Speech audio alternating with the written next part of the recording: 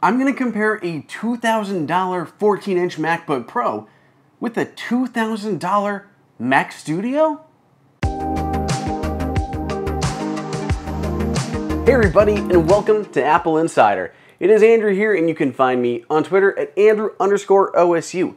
If you haven't done so already, please go ahead and subscribe and smash that notification icon so you don't miss a single video. Now here I've got a kind of an interesting thing that popped up. In another video on the Mac Studio, someone had posited the question of what was a better buy, the $2,000 Mac Studio or a $2,000 14-inch MacBook Pro. So in this video, I'm going to walk you through what you get for your $2,000 which each of these machines and try to give you some semblance of a recommendation on what I think is best. But also, I absolutely want to hear from all of you in the audience on this video, which do you think is a better buy? So, without further ado, let's go ahead and jump into this. This all begins with a silicon on the inside.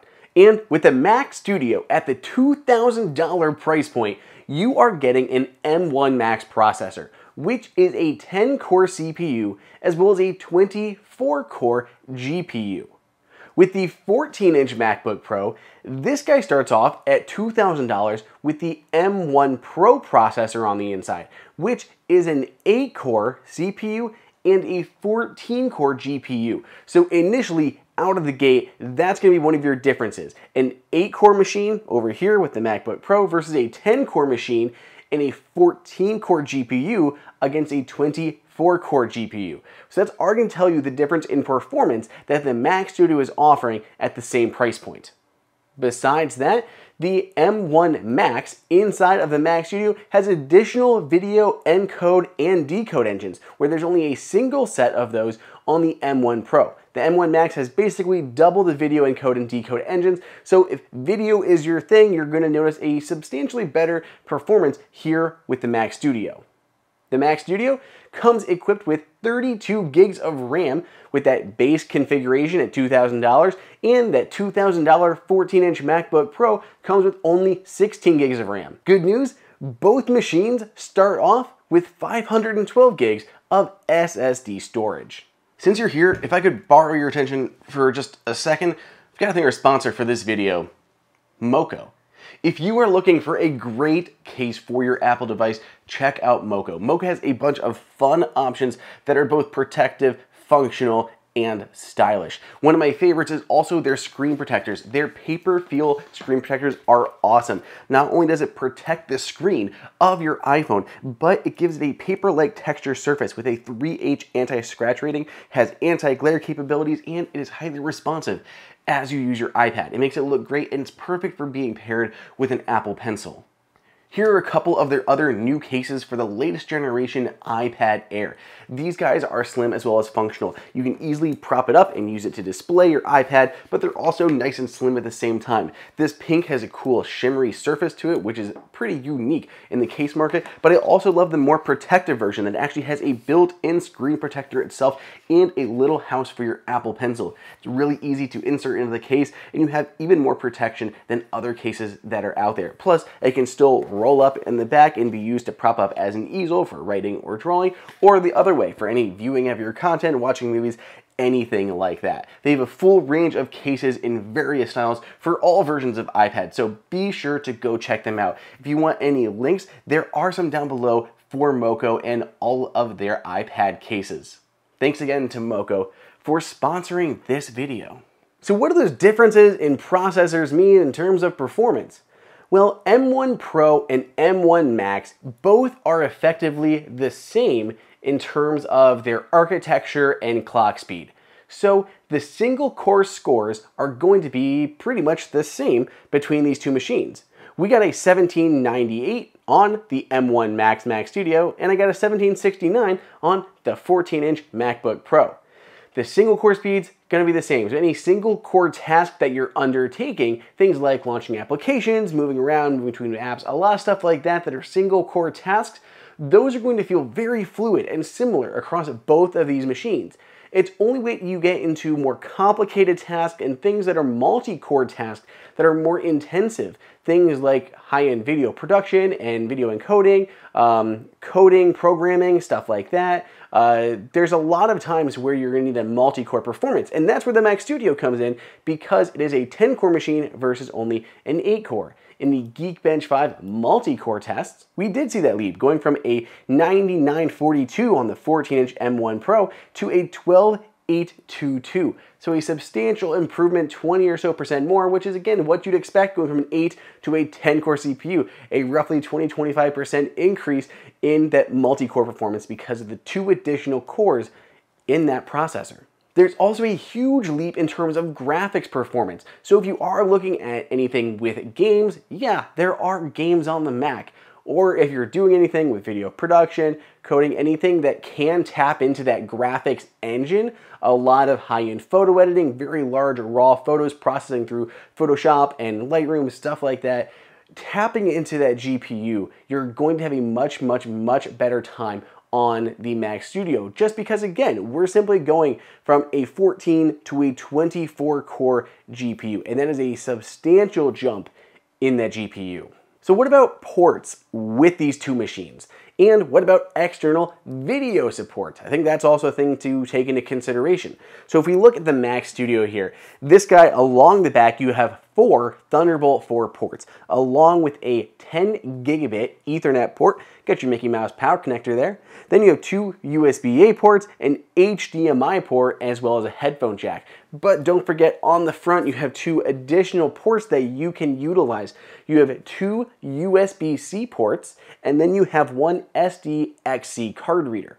Whereas, if we take a look at our 14-inch MacBook Pro over here, it too has an SDXC card reader, which is great. You have an HDMI output, fantastic, but you're limited to only three Thunderbolt 4 ports. I always said, even before the Mac Studio came out, I wish there were four Thunderbolt 4 ports, but there are only three.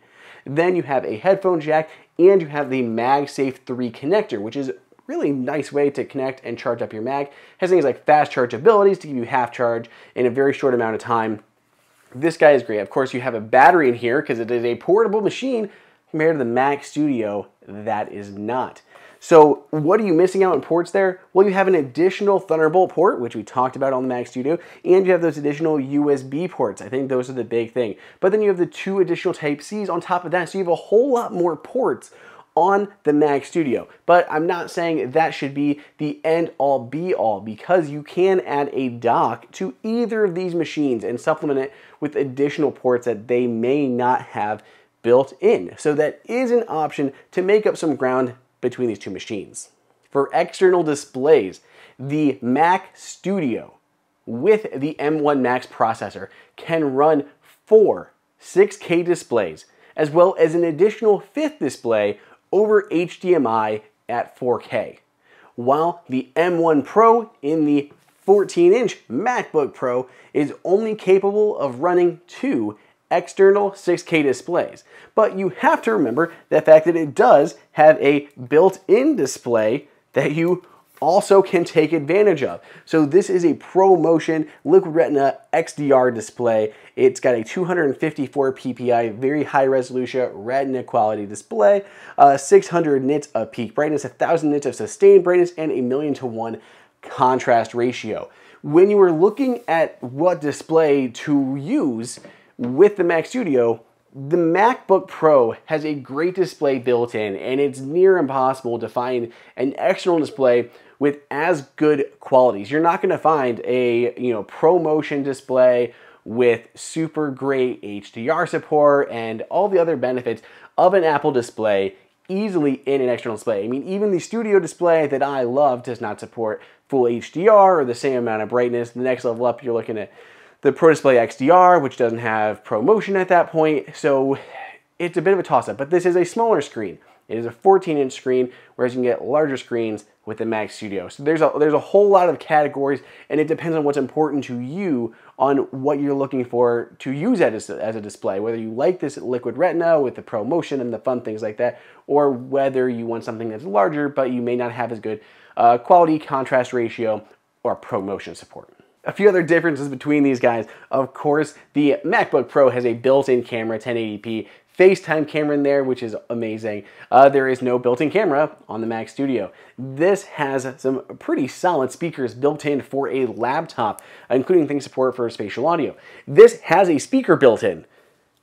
Don't listen to it if you can avoid it. Like it's it's tinny and small, and you should really use something else. This is going to be sitting underneath your desk. It's like nice to have as an option, but I don't mind listening to the MacBook Pro speakers, the built-in ones in the Mac Studio. I just don't want to listen to for much period of time, but it's a, it's a good backup should you need it. So which of these is a better buy? It's a hard question to answer. And obviously, as a desktop versus a laptop, portability is going to be important. You have a big difference in what your trade-offs here.